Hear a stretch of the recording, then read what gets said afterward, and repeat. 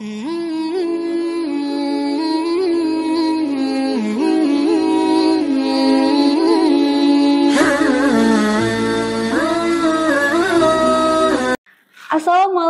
warahmatullahi wabarakatuh. Selamat sore pemirsa setia Rafa Televisi. Saat ini Anda tengah menyaksikan program spesial kami, yaitu program yang memberikan informasi menarik seputar bulan suci Ramadan. Dikemas secara hangat dan santai bersama kami Kurma Kuliah Ramadan. Baiklah pemirsa setia kuliah Ramadan. Hari ini kita akan berbincang seputar topik dahsyatnya janji Allah kepada kepada orang yang bertakwa. Tentunya hari ini saya tidak akan sendirian karena kita telah ditemani oleh narasumber kita yang amat kompeten dan juga luar biasa yaitu Bapak Sofian Daim SAG MHI. Baik Pak Sofian, selamat sore. Bagaimana kabarnya hari ini Bapak? Alhamdulillah, selamat sore. Sehat alhamdulillah. Alhamdulillah. Semoga kita selalu diberikan kesehatan ya Pak oleh Allah Subhanahu wa taala. Amin ya rabbal alamin. Baik Pak, menjelang buka puasa nih ya Pak sore hari. Bagaimana puasanya hari ini Pak? Apakah lancar? Alhamdulillah aman dan lancar.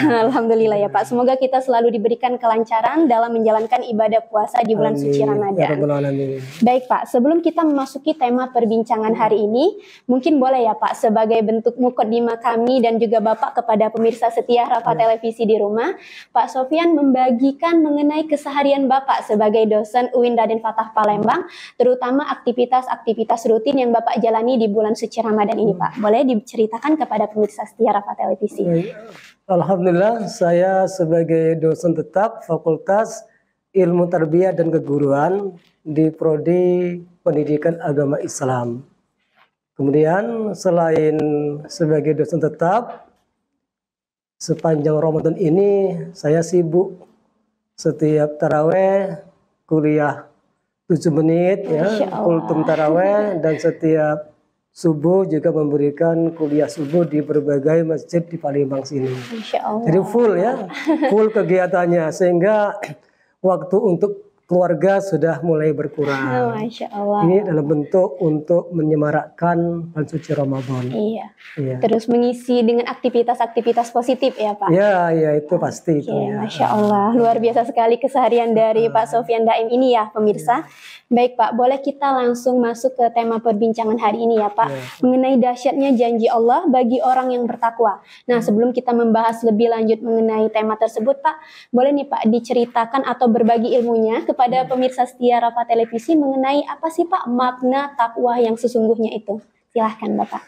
Jadi takwa itu secara sederhana, secara umum adalah kemampuan untuk melaksanakan semua perintah Allah dan kemampuan untuk menjauhi atau meninggalkan semua larangan Allah dan dikerjakannya secara ikhlas. Kalau kita mengamalkan perintah Allah tapi tendensinya niatnya tidak ikhlas, itu bukan takwa.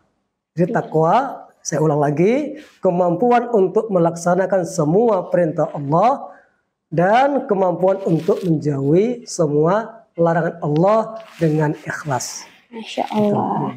Jadi takwa tadi itu adalah untuk mengikuti atau mendekatkan diri kepada perintah Allah ya Pak, segala Ya, betul, kemampuan. betul. Tapi kita lakukan dengan hati yang ikhlas, dengan Ikhlas, tidak mengharapkan iya. pujian dari orang Betul, lain seperti betul, itu ya Pak. Karena betul. jadinya ria ya Pak. Betul. Baik Pak. Amal itu bisa disebut amal soleh kalau diniati dengan hati yang ikhlas. Masya Allah. Kebaikan yang niatnya bukan ikhlas itu bukan amal soleh tapi amal salah. Masya Gitu. Allah, benar sekali Pak. Baik Pak, setelah kita mengetahui ya pemirsa setia Rafa TV mengenai makna takwa yang sebenarnya, sekarang apa saja sih Pak keutamaan untuk menjadi orang yang bertakwa itu Pak? Jadi dalam Al-Qur'an banyak sekali ya perintah ya untuk orang beriman agar menjadi mukmin yang takwa. Ya, takwa ini adalah buahnya keimanan. Jadi perbedaan antara orang beriman dan orang yang bertakwa adalah kalau orang beriman belum tentu bertakwa. Tapi kalau orang bertakwa sudah pasti mereka orang beriman. Maka dalam sebuah riwayat hadis iman itu telanjang. Pakaiannya takwa. Ya. pakaiannya takwa. Jadi orang yang nggak bertakwa ya seperti orang telanjang. Banyak sekarang orang-orang beriman telanjang. Ngaku beriman tidak sholat. Benar. Ngaku beriman tidak puasa.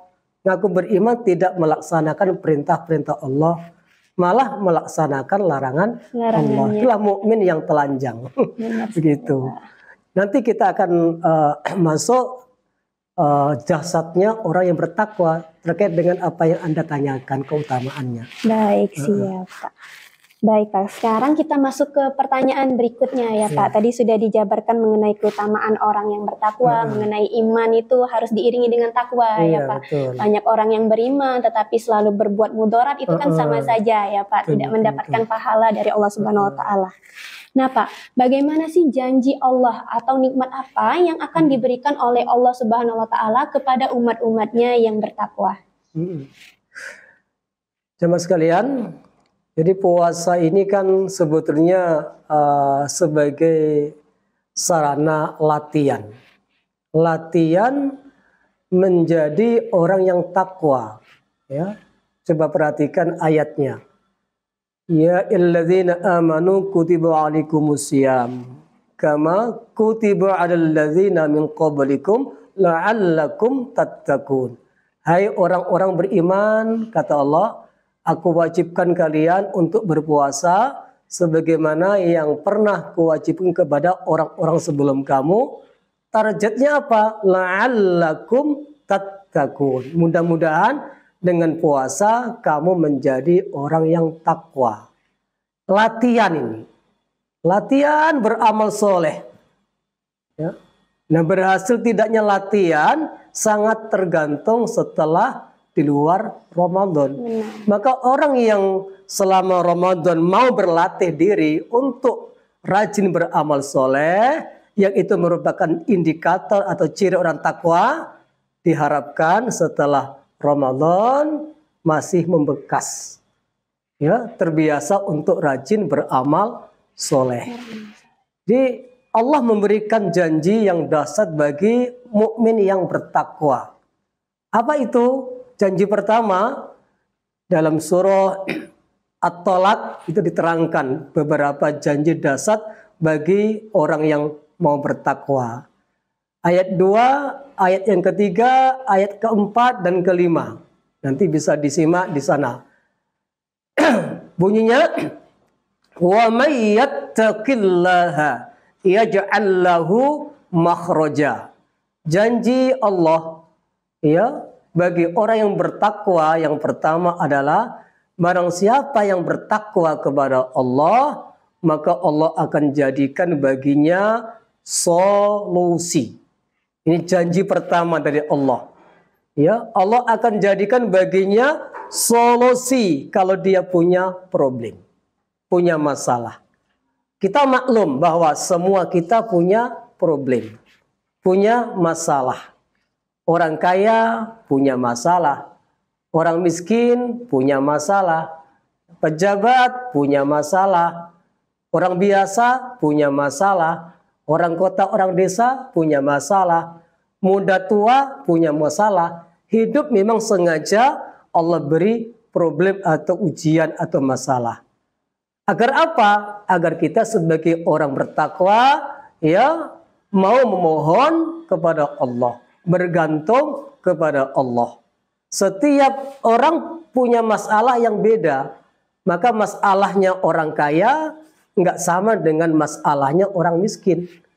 Problemnya pejabat tidak sama dengan problemnya rakyat. Iya. Setiap kita yang jelas punya masalah.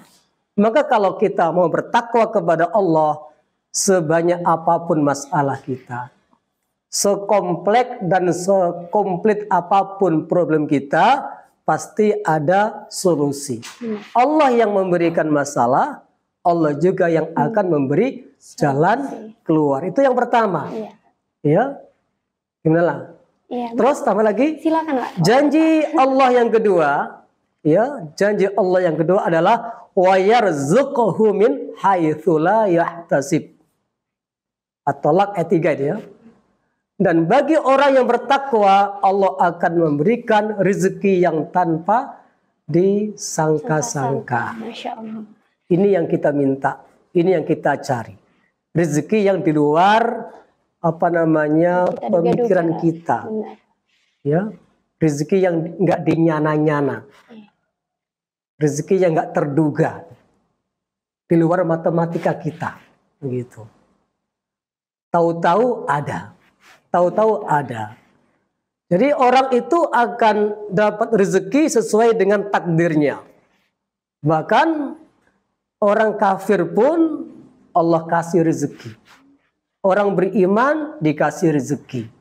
Orang taat dikasih rezeki. Yang maksiat pun dikasih rezeki. Tapi untuk orang beriman yang bertakwa itu dikasih dua jatah rezeki.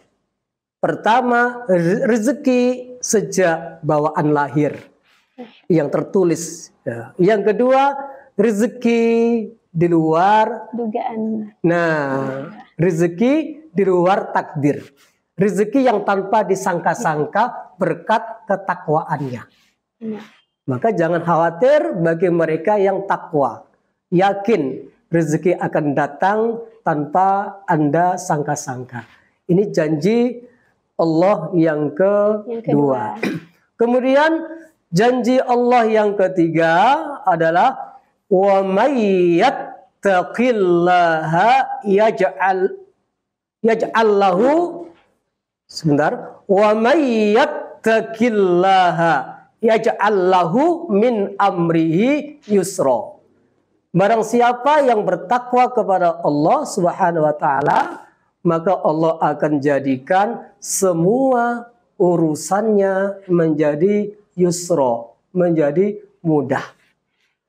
Orang bertakwa tidak pernah mengandalkan kepandaiannya. Orang bertakwa tidak pernah mengandalkan kekuatan fisiknya. Orang yang bertakwa nggak pernah mengandalkan harta jabatannya. Ya, kalau kita mengandalkan harta, kepandaian, ya, jabatan, maka banyak orang-orang yang punya kelebihan tersebut stres, Iya, benar sekali, Pak. stres.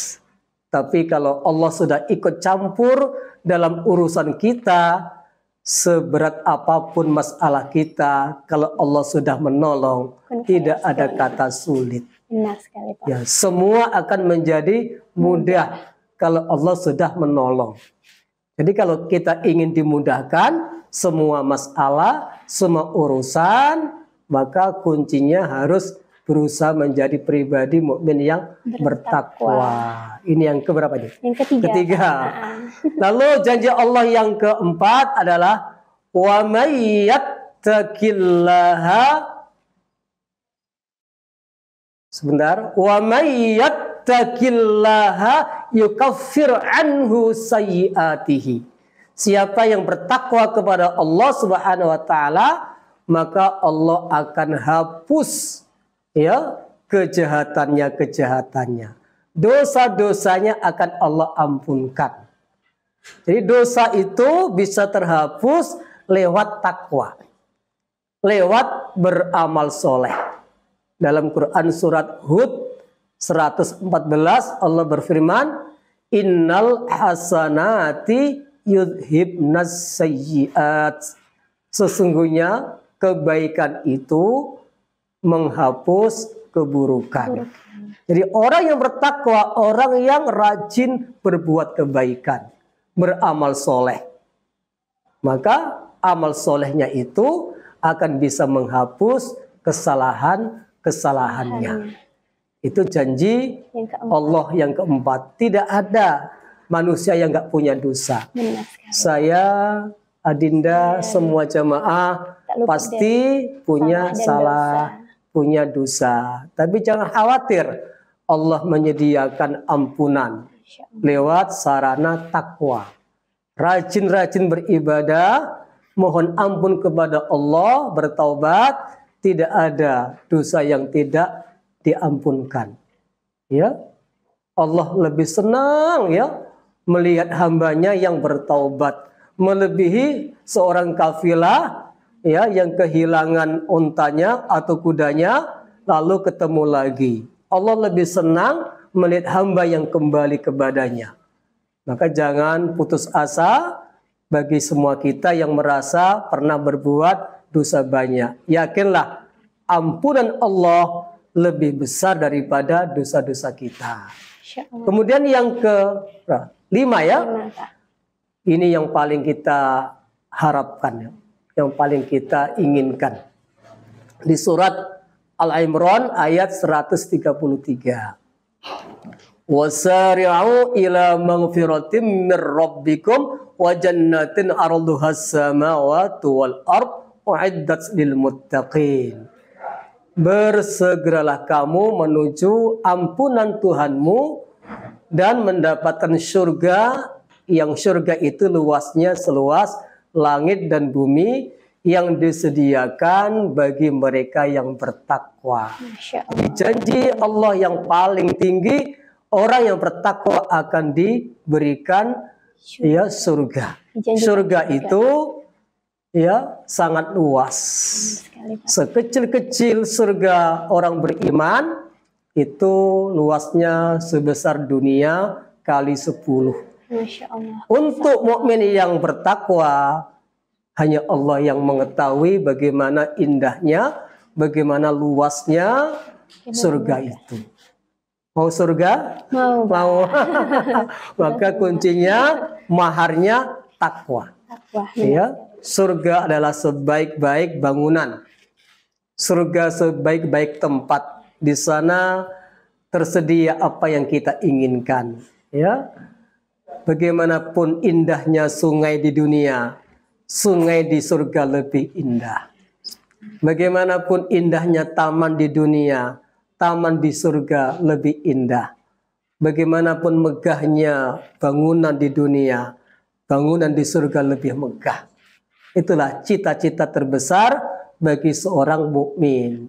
Ya, Allah menyediakan surga bagi orang yang bertakwa, surganya seluas langit dan, dan bumi. Itu kira-kira lima janji Allah bagi mereka yang bertakwa. bertakwa. Masya Allah, hmm. jadi banyak sekali ya Pak nikmat-nikmat yang dijanjikan Allah untuk hamba-hambanya yang bertakwa. Yeah. Ya, Mungkin hmm. tadi ada akan diberikan solusi jika kita hmm. ada masalah Pak, kemudian rezekinya diperluas, hmm. apa, juga tidak terduga ya Pak akan diturunkan oleh Allah kepada hambanya, lalu diberikan kemudahan dalam menjalankan kehidupannya yeah. baik itu di dunia maupun di akhirat nanti yeah. dan tadi ada yang tertinggi dijanjikan hmm. surga yang amat megah oleh Allah Subhanahu wa taala ya yeah, Pak betul. untuk orang-orang yang bertakwa. Hmm. Masya Allah sekali ya. Baiklah pemirsa, jadi itulah tadi mengenai tema kita dahsyatnya janji Allah mengenai orang yang bertakwa. Ada banyak sekali yang bisa kita petik dari ilmu yang telah disampaikan hmm. oleh Bapak Sofian Daim, SAG MHI. Hmm. Baik Bapak, jadi tak terasa kita sudah membahas sangat singkat tapi waktunya terus berjalan ya, iya. ya Pak kita membahas mengenai tema hari ini. Nah Pak, satu pertanyaan terakhir ya Pak sebelum boleh, kita boleh. menutup uh, tema kita pada hari ini atau hmm. perbincangan kita pada hari ini hmm. menjelang berbuka puasa juga betul, ya Pak. Betul, betul. Mungkin boleh Bapak memberikan tips dan triknya nih Bapak untuk mahasiswa UIN dan Fatah Palembang bagaimana sih cara menjaga ibadah puasanya di bulan suci Ramadan ini Pak. Iya. Silahkan Bapak. Jadi memang iman kita ini kata Nabi yazidu wa mangkus. Kadang naik, kadang, kadang turun. turun, kadang semangat, kadang malas. Maka sebetulnya simpel kok tip supaya tetap uh, terjaga ibadah. Pertama kita harus memahami ilmu dulu. Benar. Ya, ilmu ibadah. Apalagi dengan keutamaan ibadah sepanjang Ramadan.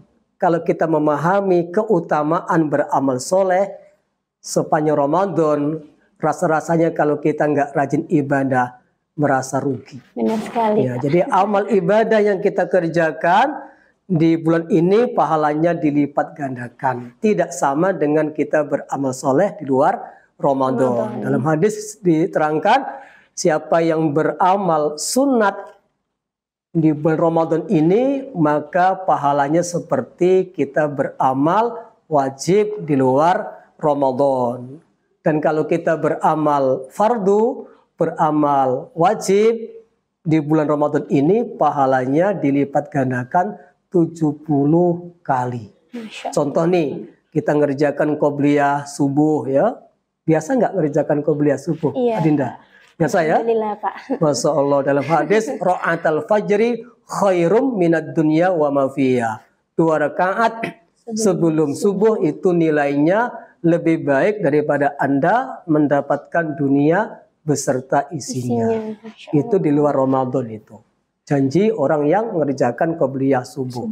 Nah, kalau kita mengerjakan qobliyah subuh selama Ramadan, maka seperti kita melakukan sholat fardu subuhnya di luar Ramadan. Dan kalau kita mengerjakan fardu subuhnya sepanjang Ramadan, dilipat gandakan 70 kali. Sekali kita mengerjakan ibadah fardu subuh, seperti kita mengerjakan fardu subuh 70 kali. Masya Allah. Semua berlaku dalam setiap amal soleh. Jadi intinya kita akan mendapatkan panen pahala. Kita akan dapat banjir pahala. Maka dengan dasar ilmu itulah, kalau kita tidak rajin ibadah, kita akan rugi. Kita siasati seperti itu. Pahami, pahami, renungkan. Ini adalah bulan panen pahala. Ini bulan kaya pahala. Kalau nggak sekarang, kapan lagi? Maka tentu yang namanya nafsu akan datang. Timbul malas. Maka konsepnya, tipnya supaya amal soleh tetap terlaksana. Duha, baca Quran, taraweh, tahajud, sedekah. Paksakan Benar sekali Pak. ya paksakan. Surga itu hanya dua langkah deh dekat ya? Dekat surga sekali, hanya Pak. dua langkah. Satu langkah injak lawan tekan paksa hawa nafsu. Satu langkah sudah sampai ke surga. Juga neraka cuman dua langkah jaraknya. Satu langkah turuti manjakan taati nafsu satu langkah sudah sampai ke neraka itu tipnya paksakan jangan dituruti. Nah itu tipnya Baik, Pak. Luar biasa sekali, Iya. Bapak. Terima kasih banyak untuk tips dan triknya Bapak. Dan Iya. kami juga mengucapkan ribuan terima kasih, Pak, terkait pengetahuan yang sudah Bapak bagikan kepada kami dan juga pemirsa setia Rafa Televisi di rumah ya, Pak. ya Semoga sama-sama nanti ke depannya kita bisa terus menjalin tali silaturahmi ya, Pak. Dan jika ada kesempatan, nanti boleh kita undang lagi, Pak, sebagai narasumber. Insya Allah siap mudah-mudahan panjang umur ya Baik, semua amin. kita ya Amin, Pak. Baiklah pemirsa setia Rafa Televisi, tak terasa kita sudah menyelesaikan perbincangan kita mengenai dahsyatnya janji Allah kepada orang yang bertakwa. Tentunya bersama Bapak Sofian Daim SAG MHI yang luar biasa. Pemirsa setia Rafa Televisi, eh, terima kasih telah menyaksikan program acara kami dari awal sampai eh, sampai akhir. Insya Allah Kurma ke depannya akan kembali lagi dengan beragam topik yang menarik dan juga narasumber yang amat luar biasa dan kompeten di bidangnya. Selamat menjalankan ibadah puasa Ramadan 1444 Hijriah. Saya Fatimah Zahra dan segenap kru yang bertugas pamit undur diri. Selamat sore dan wassalamualaikum warahmatullahi wabarakatuh. Waalaikumsalam warahmatullahi wabarakatuh